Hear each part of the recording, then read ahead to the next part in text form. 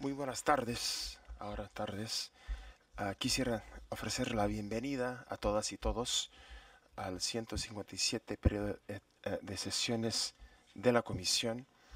Tenemos una audiencia ahora sobre la situación general de derechos humanos en Venezuela, uh, audiencia solicitada uh, por eh, los representantes del ilustre eh, Estado eh, de Venezuela y contamos o vamos a contar con la participación, uh, llegará el señor embajador y representante permanente Bernardo Álvarez Herrera, está la embajadora alterna Carmen Velázquez de Vispal, estará uh, presente uh, Larry Devo, secretario ejecutivo del Consejo Nacional de Derechos Humanos, Marlene da Vargen da Silva, consejera representante alterna, Marcela Carmero, segunda secretaria y representante alterna, y Sara Lambertini, segunda secretaria representante alterna.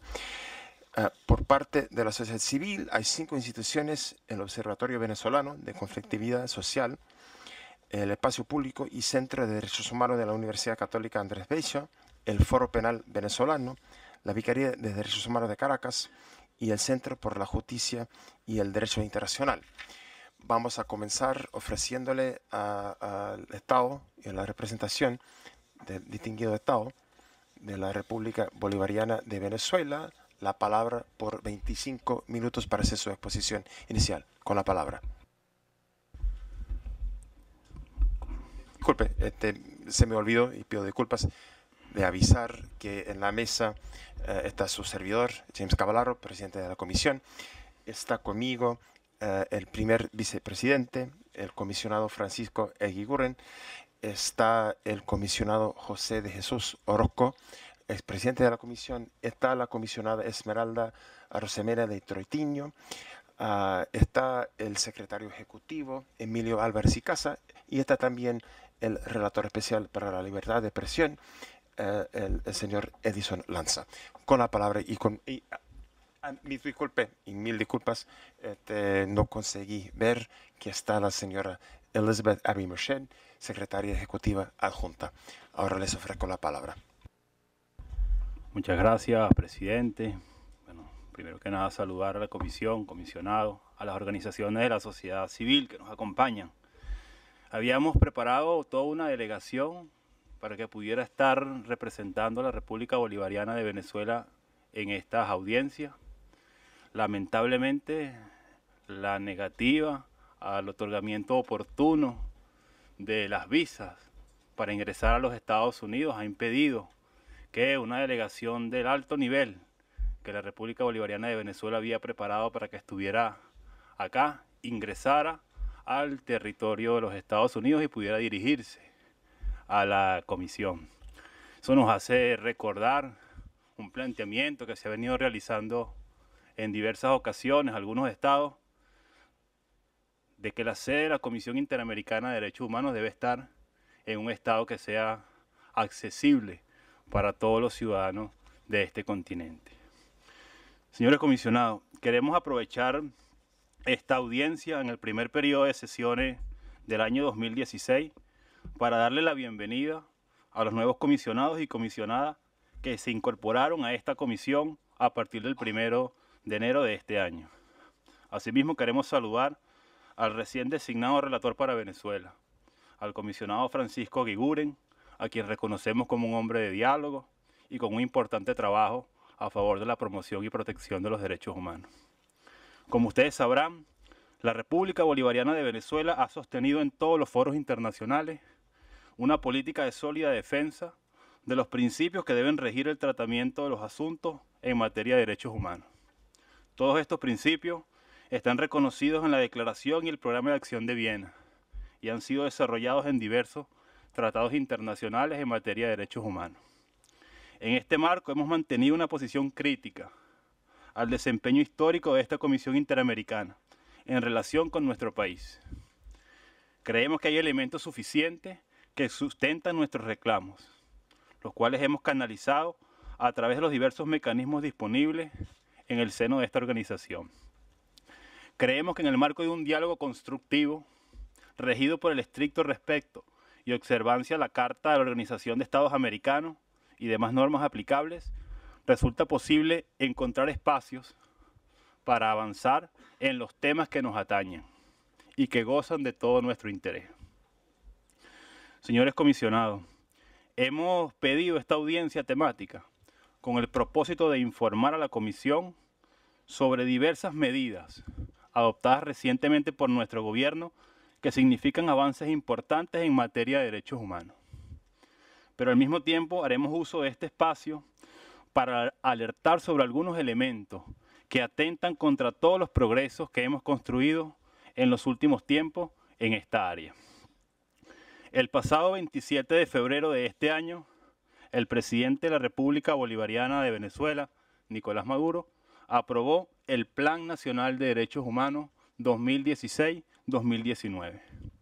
Se trata de una medida histórica, pues constituye el primer Plan Nacional de Derechos Humanos adoptado por nuestro país. Este plan es el resultado del trabajo desarrollado durante prácticamente dos años por el Consejo Nacional de Derechos Humanos, un organismo creado por el presidente de la República en el año 2014 para coordinar la política de nuestro país en esta materia. El proceso de construcción de este plan comprendió tres grandes etapas, todas ellas desarrolladas con la valiosa contribución de organismos internacionales, organizaciones y movimientos de derechos humanos e instituciones del Estado venezolano. La primera etapa, destinada al diagnóstico, inició en el año 2011, con la participación de Venezuela en el examen periódico universal ante el Consejo de Derechos Humanos de la ONU y concluyó con la presentación de distintos informes ante los órganos de tratado de la ONU.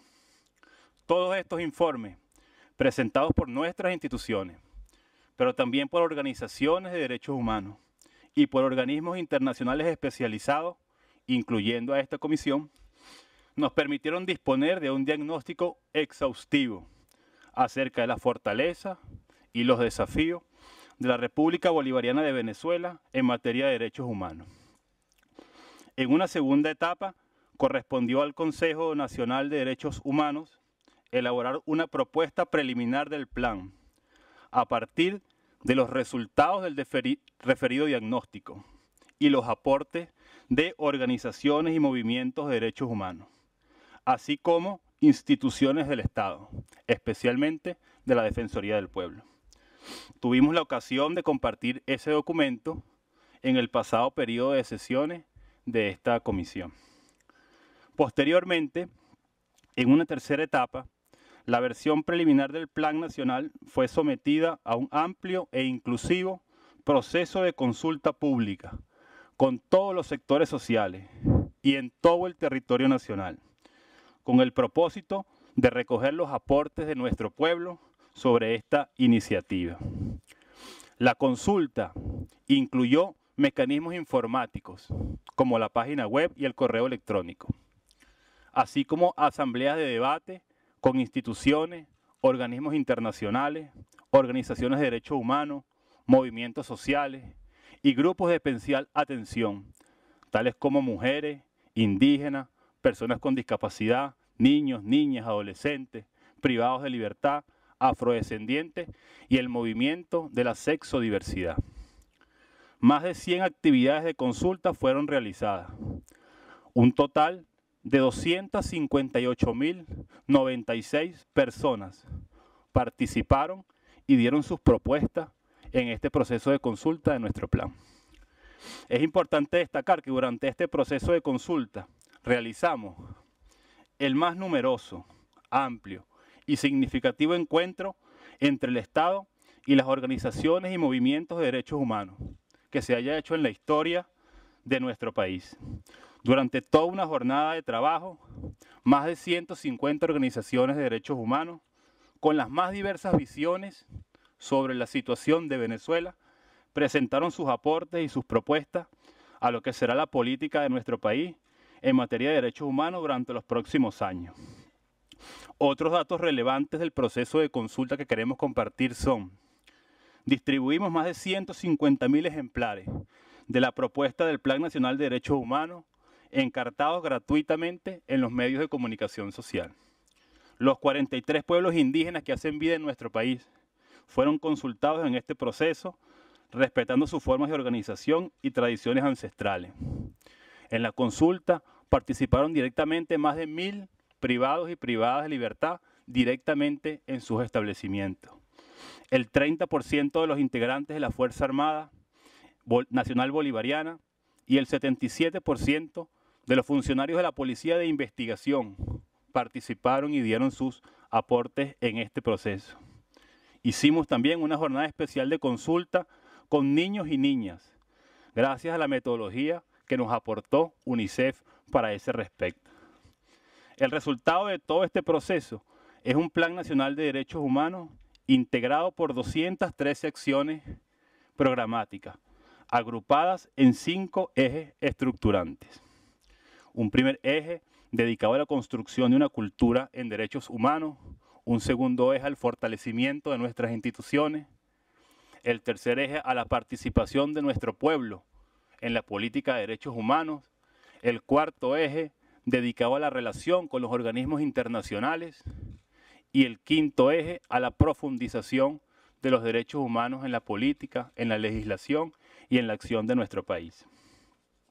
Es importante resaltar, señores comisionados, que el proceso de consulta generó importantes modificaciones al documento preliminar que fue sometido al debate. En efecto, la versión preliminar contenía 145 acciones, mientras que el documento definitivo recogió un total de 213 acciones programáticas.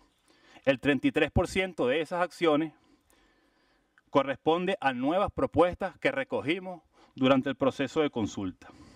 25% corresponden a modificaciones en la redacción, producto de los aportes, de las propuestas realizadas por los participantes, y el 42% corresponde a acciones que ya estaban contempladas en el documento preliminar. Queremos destacar que diversas recomendaciones realizadas por la Comisión Interamericana en su informe anual publicado el año pasado fueron incluidas en el Plan Nacional de Derechos Humanos, tal como se evidencia en el documento que bueno, vamos a consignar a esta, a esta comisión. El Plan Nacional de Derechos Humanos fue aprobado mediante decreto presidencial publicado en la Gaceta Oficial de la República Bolivariana de Venezuela, junto al texto íntegro del plan. Un ejemplar de la Gaceta con el decreto y un ejemplar del Plan Nacional de Derechos Humanos vamos también a consignar y presentar hoy ante esta comisión. Conforme a este decreto, cada uno de los órganos y entes del Estado deberán adoptar las medidas adecuadas para incorporar dentro de sus respectivos planes operativos los proyectos, las acciones específicas y los recursos necesarios para la adecuada y oportuna ejecución de este plan. De igual forma, mediante dicho decreto, el presidente Nicolás Maduro invitó a todas las organizaciones y movimientos de derechos humanos a contribuir en la implementación y seguimiento del plan, en el marco del principio de corresponsabilidad y el modelo de democracia participativa y protagónica reconocidos en nuestra Constitución. Estamos convencidos de que la aplicación del Plan Nacional de Derechos Humanos puede ser un importante espacio para el diálogo, por lo cual desde este espacio reiteramos ese llamado. Señores comisionados, otro de los elementos que queremos compartir en esta audiencia se vincula con la política de atención integral a las víctimas, adoptada por el gobierno de nuestro país. Como ustedes sabrán, el presidente Hugo Chávez tomó en su momento la decisión de extender las medidas de reparación acordadas por la Corte Interamericana de Derechos Humanos en el caso del Caracazo a otras víctimas y familiares no previstos en la sentencia del Tribunal Interamericano a pesar de que no existía un mandato judicial que así lo estableciera.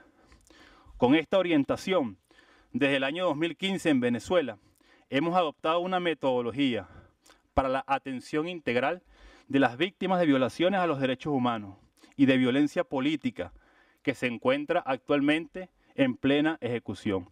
Una política que pone su acento en la atención de las condiciones de vida digna de la víctima y de su grupo familiar, haciendo uso para ello de todo el aparataje de protección social que ha construido el Estado venezolano en estos últimos 17 años. En este marco, durante el año 2015 fueron beneficiados un total de 130 víctimas y familiares de los hechos del Caracazo y del golpe de Estado del 11 de abril del 2002. En lo que va del año 2016, el presidente de la República ha aprobado medidas de atención integral para 634 víctimas y familiares, que incluyen a víctimas de violación de derechos humanos en el periodo 1958-1998, víctimas de los hechos de violencia política impulsada por la oposición venezolana durante el 2013 y 2014, así como familiares de dirigentes campesinos asesinados en el marco de la lucha por la tierra. Para continuar avanzando con esta política, hemos incluido en nuestro Plan Nacional de Derechos Humanos tres importantes medidas en esta área. La aprobación de una ley para la reparación y rehabilitación de las víctimas de violaciones a los derechos humanos. La creación del Instituto Nacional de Atención a las Víctimas de la Violencia y el establecimiento de mecanismos para la atención en salud y la rehabilitación física y psicológica de las víctimas de graves violaciones a los derechos humanos. Señores comisionados, destacar en este espacio la política de nuestro gobierno para la atención integral de las víctimas nos lleva necesariamente a referirnos a una grave amenaza a los derechos humanos que se gesta actualmente desde un poder del Estado, que goza de independencia y autonomía en los términos de la Constitución de nuestro país. En este caso nos referimos al proyecto de ley de amnistía y reconciliación nacional que fue sancionado hace algunos días por la mayoría de la Asamblea Nacional de la República Bolivariana de Venezuela. Como bien sabrán, el 5 de enero del 2016 se instaló un nuevo periodo constitucional de la Asamblea Nacional, luego de las elecciones celebradas el 6 de diciembre del 2015. La mayoría de los integrantes de ese Parlamento corresponde a diputados y diputadas pertenecientes a partidos políticos de oposición. Este hecho por sí solo derrumba la férrea campaña desplegada contra el sistema electoral venezolano, que incluso se expresó en una audiencia temática celebrada en esta comisión en su más reciente periodo de sesiones. Ahora bien, el 29 de marzo de este año, la mayoría de la Asamblea Nacional aprobó una ley con el objeto de otorgar amnistía a una serie de delitos cometidos en la República Bolivariana de Venezuela. Esta iniciativa recibió el nombre de Ley de Amnistía y Reconciliación Nacional. Esta ley pretende abarcar con la impunidad a una gama indeterminada de delitos, faltas o infracciones cometidas en Venezuela desde el año 1999 hasta la entrada en vigencia de esa ley. Los delitos que ocurran hoy estarían amparados por esa ley de amnistía. Con esta orientación, la ley incluye implícitamente hechos tan graves como el uso de niños, niñas y adolescentes en la comisión de delitos, el tráfico de drogas, el terrorismo y la corrupción. Es importante destacar que dentro de este amplio catálogo de delitos quedan comprendidos hechos que, en otro contexto, pudieran constituir infracciones graves al derecho internacional, tales como los ataques contra instalaciones de salud y establecimientos de expendio de alimentos, e incluso el incendio de un centro de educación para niños y niñas menores de tres años. Esa imagen que está allí proyectada, comisionado, es el maternal del Ministerio del Poder Popular para la Vivienda. Allí asistían a clase 89 niños y niñas con edades comprendidas de 0 a 3 años.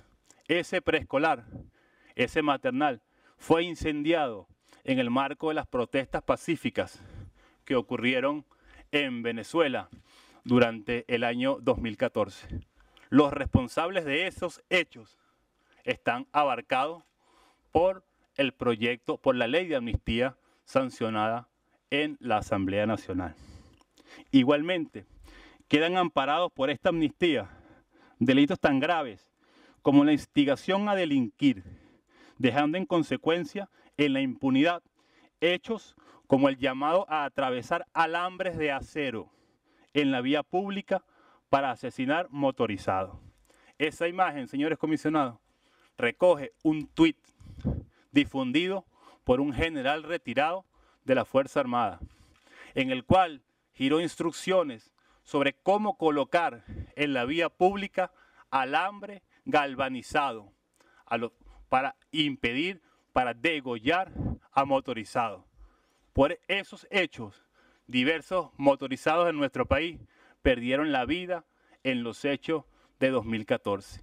Ese llamado al, al delito, esa incitación a delinquir, estaría amparada, protegida y perdonada con el proyecto de ley de amnistía. Adicionalmente, la ley de amnistía fue promovida y aprobada por los mismos grupos políticos e incluso las mismas personas que apoyaron y participaron en los hechos que intentan ser abarcados por la medida de amnistía.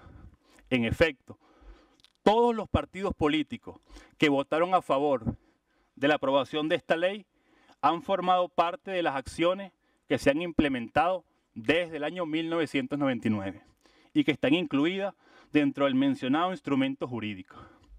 El ejemplo más emblemático lo constituye el caso de los hechos de violencia ocurridos a partir del 23 de enero del 2014, en el marco de una operación denominada La Salida, los cuales dejaron como resultado 43 personas fallecidas y 878 lesionadas.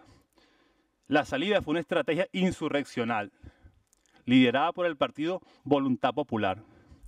Los hechos vinculados con esta iniciativa se encuentran previstos en los artículos 5 y 6 de la ley de amnistía.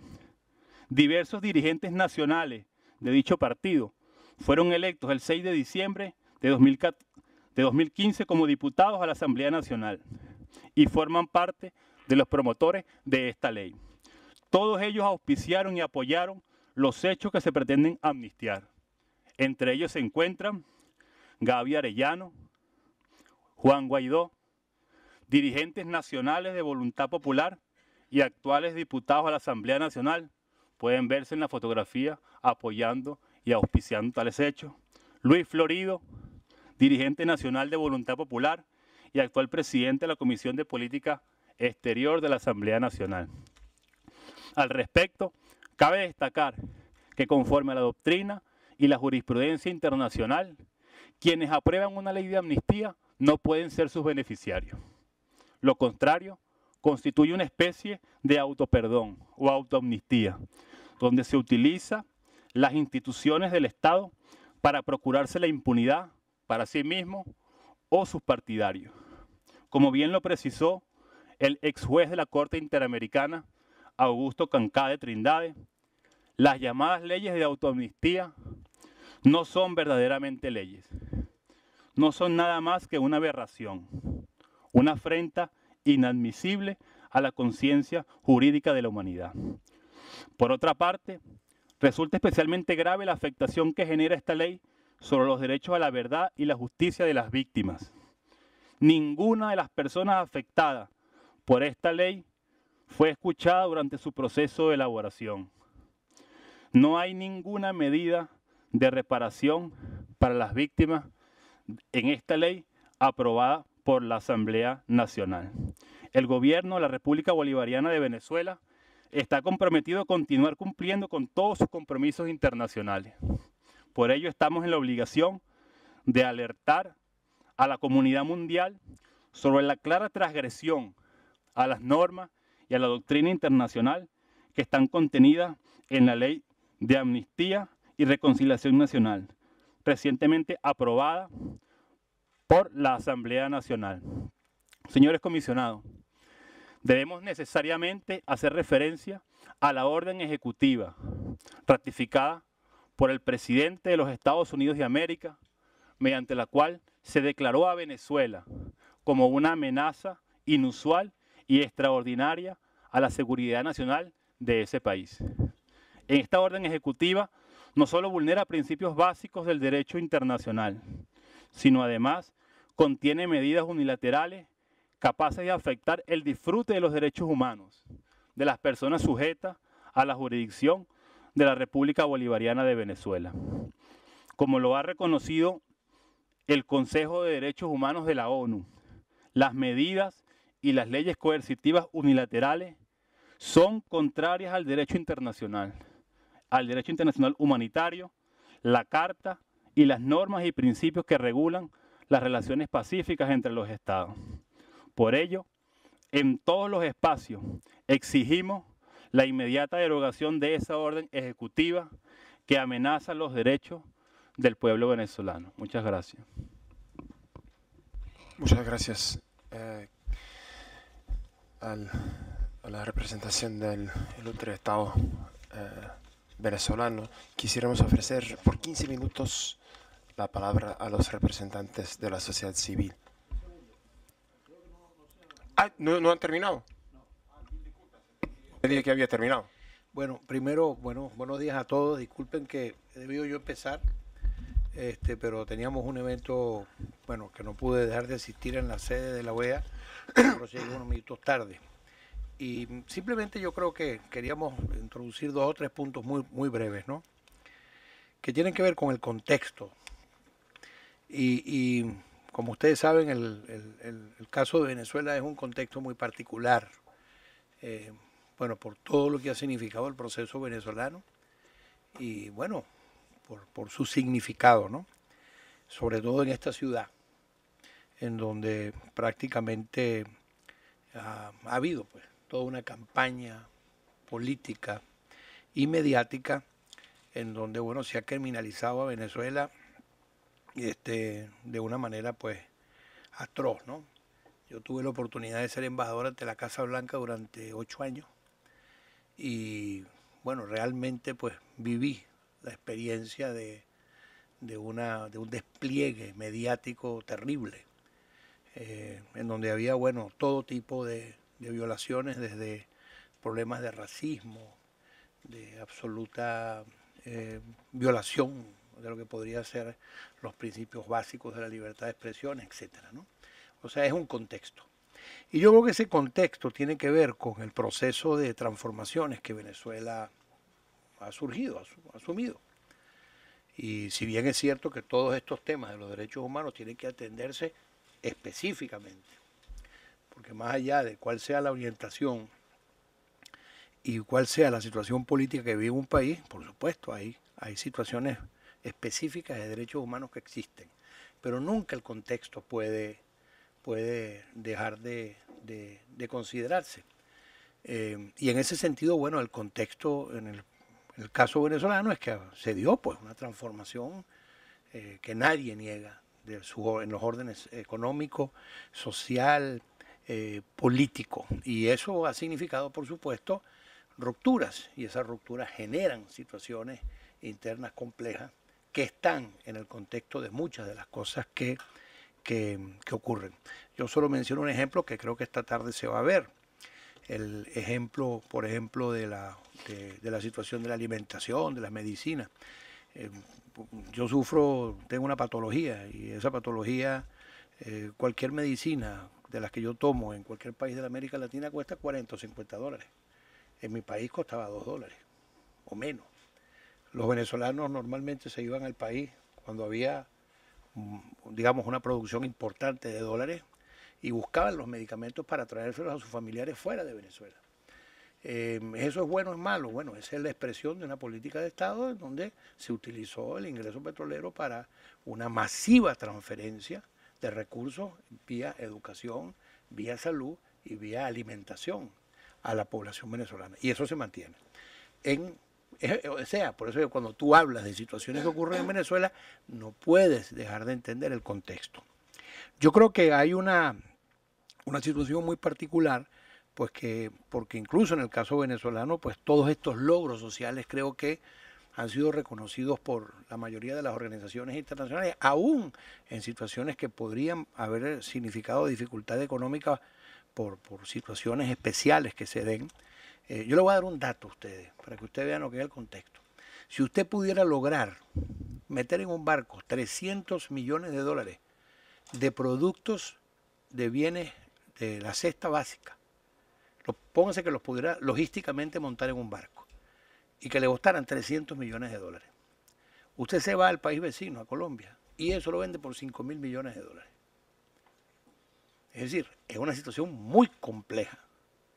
¿Por qué? Bueno, es un país que ha tenido un subsidio masivo y es una cosa que defendemos y es una cosa que incluso es difícil a veces cómo salir o cómo equilibrar, porque tú no quieres dejar tampoco lo que es una misión tuya, que es tu misión de haber expandido de manera significativa este, estos derechos.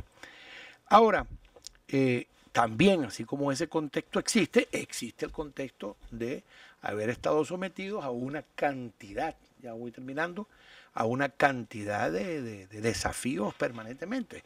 Aquí hablamos del decreto, el decreto de Obama ya. Yo me recuerdo en este momento, solo que me vienen a la mente cuando el presidente Chávez estaba sometido a la enfermedad y salió un editorial del país de España en primera página en Madrid. Yo era el embajador en donde ponían supuestamente al presidente Chávez en una terapia intensiva. Resulta que no era el presidente Chávez, sino era un señor mexicano que, lo habían puesto. Es decir, a ese nivel llegaba la agresividad que contra nosotros se tenía y bueno,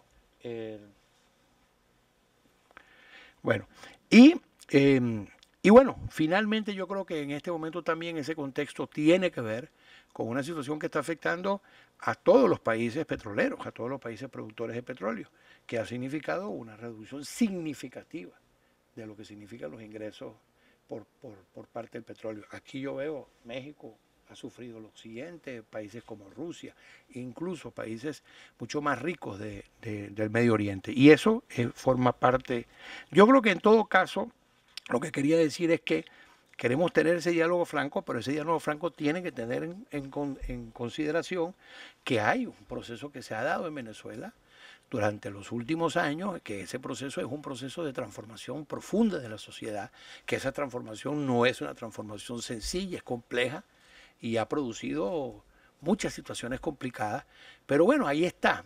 Yo creo que, y termino diciendo lo que comentaba Larry, yo llegué aquí a la OEA hace poco tiempo porque había muchas dificultades frente a las elecciones venezolanas.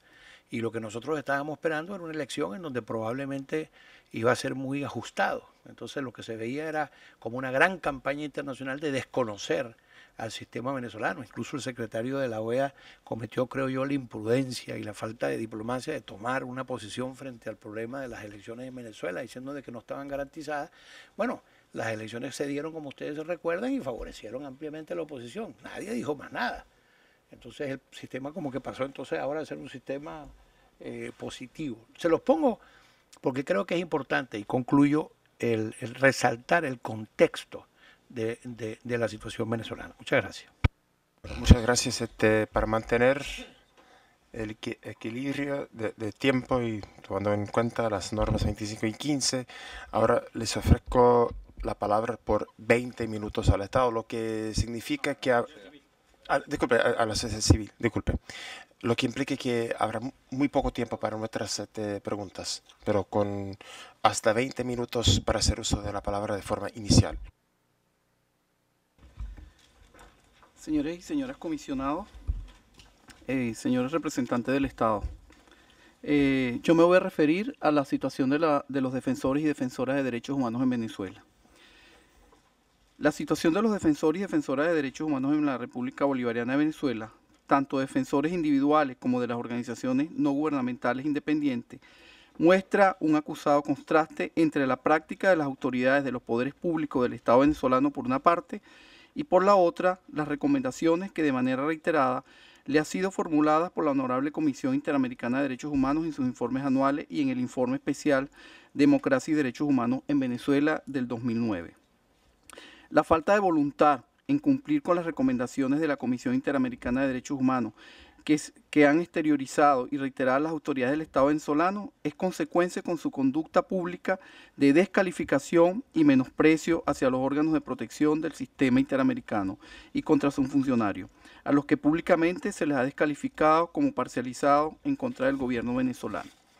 De igual modo, esta conducta de las autoridades estadales hacia las recomendaciones formuladas por la Comisión es consecuente con su desacato abierto y contumaz hacia los informes de fondo dictados por la Comisión en tramitación de peticiones individuales, las medidas cautelares, las medidas provisionales acordadas por la Corte Interamericana de Derechos Humanos e incluso con respecto a las sentencias de fondos y reparaciones dictadas por la Corte Interamericana de Derechos Humanos que las autoridades del Estado venezolano consideran desfavorables. Continúa a este, a este respecto emitiéndose mensajes de criminalización contra los defensores y defensoras de derechos humanos, muy en particular aquellos que ejercen acciones y participan ante los sistemas internacionales de protección, a quienes públicamente se les continúa calificando como golpistas, conspiradores, agentes del imperio norteamericano e incluso como asociados al paramilitarismo colombiano. El rol protagónico de estas campañas sigue siendo ejercido por la mayoría de las autoridades con cargos importantes y de, más alto nivel. Es un patrón recurrente el, recrudecer sus ataques inmediatamente antes y después de la participación de los defensores en audiencias ante los órganos del sistema interamericano, por lo cual los defensores han manifestado reiteradamente ante esta honorable comisión que su participación en las audiencias pone en riesgo su integridad física y moral. Eh, Vamos a mencionar por razones de tiempo solo algunas recomendaciones que ha hecho la CIDH en varias oportunidades y cuál ha sido el estado de eso. Implementar las leyes y mecanismos necesarios para que la ciudadanía pueda acceder de manera fácil y efectiva a la información pública y para facilitar su amplio conocimiento sobre la gestión en diversos órganos. Frente a esto, el Estado eh, eh, no se han adoptado leyes ni medidas de otro carácter destinadas a garantizar el acceso y todos los ciudadanos a información pública. Muchas gracias. Vamos a consignar un informe eh, del 2015 de la situación de los defensores y defensoras de derechos humanos de Venezuela, al igual que la exposición en esta audiencia, que es mucho más amplia. Carlos Correa, de Espacio Público, Centro de Derechos Humanos de la Universidad Católica Andrés Bello. A nombre de, de, las organizaciones que trabajamos los temas de libertad de expresión y acceso a la información pública, queremos subrayar y destacar dos temas. Uno, la severa crisis en el abastecimiento de papel que están teniendo los diarios venezolanos. En Venezuela desde el año 2012 no se aprueban recursos eh, para comprar eh, este tipo de, insumos y desde el año 2013 de hecho hay un monopolio estatal que está asignando eh, el papel a el conjunto de los diarios venezolanos. En Venezuela hay alrededor o existían alrededor de 100 diarios y ya han dejado de circular ya eh, en el 2014 dejaron de circular 12, algunos definitivamente, otros temporalmente. En el 2015 4 han desaparecido. Este año han cerrado 6. Eh, en Semana Santa, por ejemplo, los diarios dejaron de circular. Algunos diarios eh, de más de 80 años, como el diario El Carabobeño, ha dejado de circular, mientras que al diario de la competencia sí le asignan divisas y sí se le asigna papel. Eh, hay diarios como el diario El Impulso en Barquisimeto que están en grave riesgo y que probablemente eh, dejen de circular porque tienen papel apenas para las próximas dos o tres semanas. Entonces, en un escenario como este no hay un mecanismo transparente, ahí están en riesgo alrededor de 86 diarios. Eh, los diarios en Venezuela, los diarios regionales especialmente, sirven mucho para la deliberación y el debate de algunos de los problemas que está enfrentando el país y eso está restringido. El segundo elemento, y queremos agradecer que la Comisión se haya pronunciado en relación a este caso, pero tiene que ver con la aplicación del derecho penal y con la aplicación de eh, los mecanismos del derecho penal para hacer restricciones a la libertad de expresión. En este caso, una investigación asociada a, un tema de corrupción se tradujo en una sentencia que, por cierto, se, se produjo hace 20 días pero todavía no, no, existe el texto de la sentencia, no la tienen las partes. Y allí se castigó una investigación sobre un tema de corrupción que tuvo una sentencia judicial firme, es decir, la, judicialmente se dijo hay corrupción, pero una persona que resultó afectada hizo una demanda y estableció una demanda penal y por lo tanto pena privativa de libertad para el editor del diario y ahora tiene una amenaza eh, adicional para eh, ser castigado con una demanda por daños civiles. Es decir, no solo se castiga penalmente, sino civilmente, y civilmente con sanciones desproporcionadas. El Código Penal venezolano no establece límites.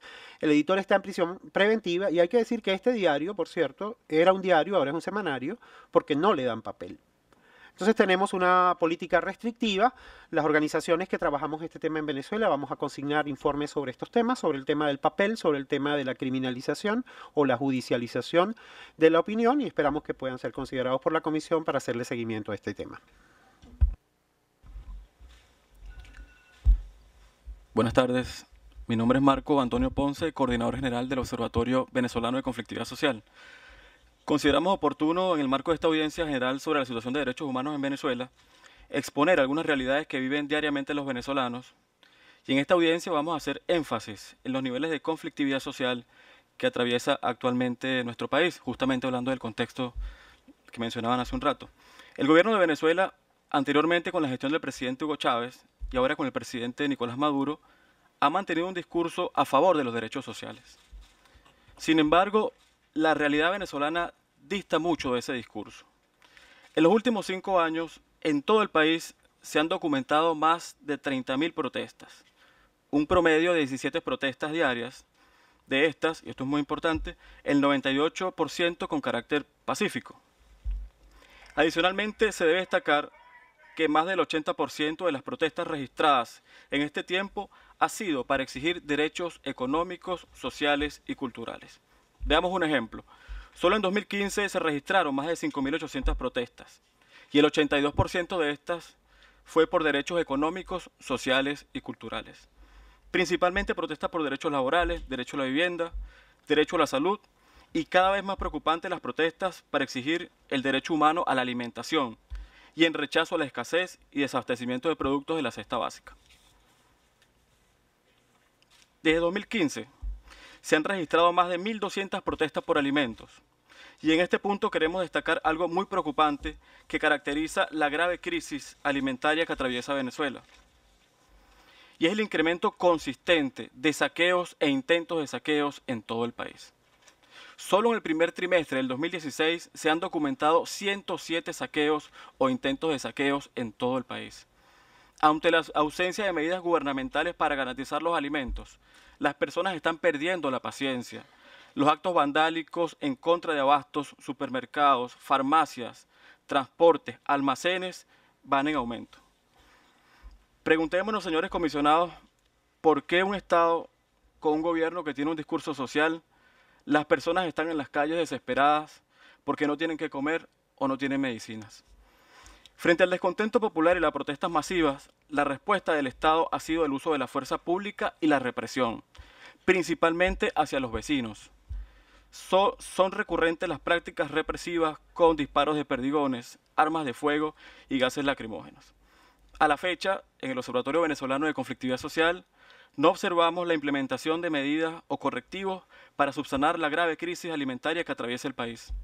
Alertamos que la inacción o con medidas incorrectas, pareciera que el presidente Nicolás Maduro está llevando a Venezuela hacia un estallido social. Señores comisionados, finalizo con dos recomendaciones brevemente. La primera, eh, reiteramos nuestros llamados a las autoridades venezolanas para que implementen los correctivos democráticos en materia de políticas alimentarias, como lo establece el artículo 305 de la Constitución. Y la segunda, muy importante, exhortamos al Estado venezolano a implementar herramientas democráticas que permitan prever, mitigar y transformar los conflictos sociales, como la reciente guía práctica que diseñó la OEA y el PNUD sobre sistemas de alerta y respuesta temprana sobre conflictos sociales. Muchas gracias. Alfredo Romero, Foro Penal Venezolano. Precisamente el Foro Penal Venezolano acudió al Consejo Nacional de Derechos Humanos en virtud de que consideramos que debemos estar presentes en cualquier sector que se trate de derechos humanos. Ahora bien, es de notar que en esa precisa consulta y en ese momento no se permitió al Foro Penal Venezolano hablar sobre un tema fundamental, que es la utilización del sistema de justicia como arma de persecución política. Y en ese sentido, también quiero notar que las víctimas pareciera que las víctimas que el Estado se refiere son las víctimas que le conviene. Pero, por ejemplo, una ley de amnistía del año 2007 que benefició a, pistoleros, a personas que dispararan, y que el Foro Penal representa a ocho de los asesinados del 11 de abril del año 2002 y que le dieron una amnistía a esas personas y el día de hoy no hay justicia con relación a todos esos asesinados de esa fecha. Y así también se oye solo a las organizaciones que el gobierno soporta pero, y las recomendaciones, pero no a las organizaciones que tienen denuncias específicas en relación con situaciones. Y vamos particularmente al caso de la persecución política y de la utilización del sistema de justicia como arma de persecución. Hay 82 presos políticos al día de hoy en Venezuela calificados por el Foro Penal y de solo desde, el 2014 ha habido 3.785 detenidos por motivos políticos hasta el día de hoy. 1.882 personas se encuentran todavía con procesos judiciales pendientes. Y quiero decir algo muy importante que el Estado no ha hecho referencia. 327 casos han sido decididos por motivos políticos por el grupo de detenciones arbitrarias de la Organización de Naciones Unidas solo desde el 2014, dentro de los cuales nueve personas se encuentran todavía encarceladas y el Estado no ha tomado en cuenta esas recomendaciones. Hay un punto fundamental que es el uso de la enfermedad como mecanismo de trato cruel e inhumano de los presos políticos. Hay 23 casos de enfermedades graves donde el riesgo a la vida de estos presos políticos es importante. Puedo observar el caso de Efraín Ortega, quien tiene múltiples enfermedades.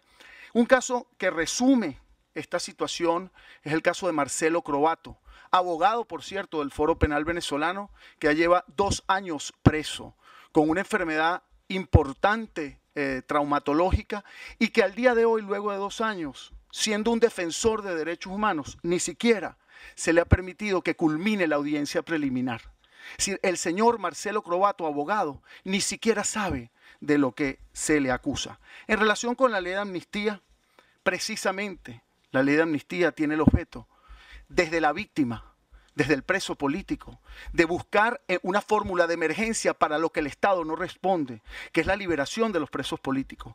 De manera novedosa, la ley de amnistía, a diferencia de otras leyes en el mundo, se ha redactado desde la víctima, desde las organizaciones de derechos humanos, y es, no es cierto absolutamente mentira, que incluye tráfico de drogas, que incluye homicidios, que incluye asesinatos, sino incluye específicamente persecución política y yo los invito a leerla y al informe que vamos a presentar al respecto. Concluyo con lo siguiente, se refieren a 43 asesinatos, pero a conveniencia. Por ejemplo, casos de Alejandro Márquez, que lleva el Foro Penal venezolano, torturado a golpes. No hay ni una persona detenida porque el Ministerio Público se tardó un año en investigar. Ese caso fue uno de los asesinados. Así tenemos el caso de Geraldine Moreno, de Daniel Tinoco, de Robert Redman, de Génesis Carmona. ¿Por qué no hablamos de la verdad de los asesinatos y precisamente que se haga justicia en vez de seguir atacando con persecución política a aquellas personas que precisamente rechazan las acciones del gobierno? Es todo.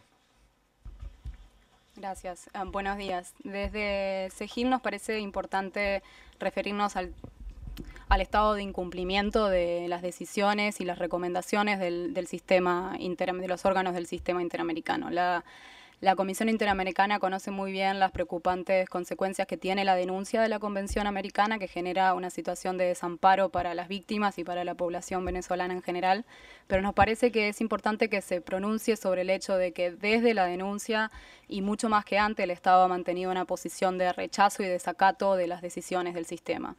Esto se ve en decisiones incluso del Tribunal Supremo de Justicia, que desde el 2008 habla que las decisiones de la Corte no son ejecutables. Y en septiembre de 2015 eh, concretamente se dijo que producto de la denuncia de la Convención Americana, el Estado está desligado de las obligaciones contenidas en la Convención Americana.